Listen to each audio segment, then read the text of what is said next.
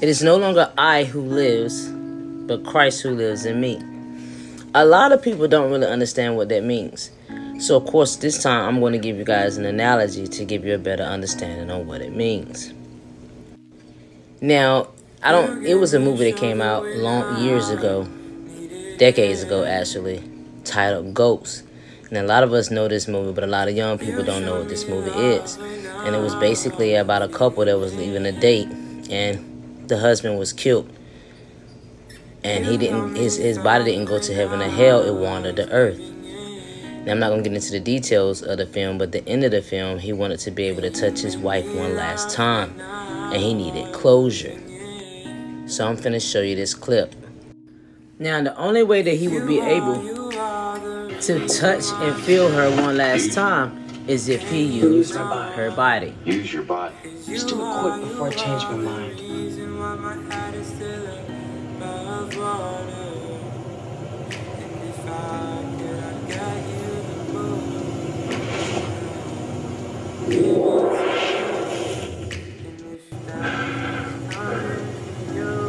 Now he's able to touch and feel her and get close to her now that he has the help of Whoopi Goldberg.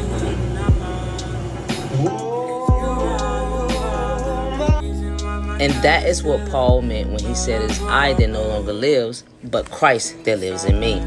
See, we all know that we can't stop sinning on our own. And and Christ never asked us to.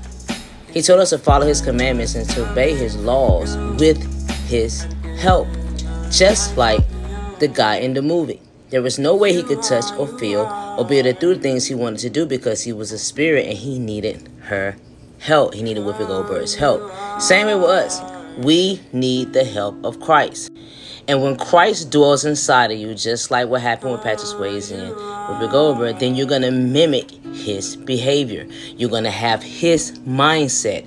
You're not going to want to desire the things that he didn't desire when he was walking the earth. You're going to desire everything that lines up with the word of God because it's basic he's basically your inner puppet.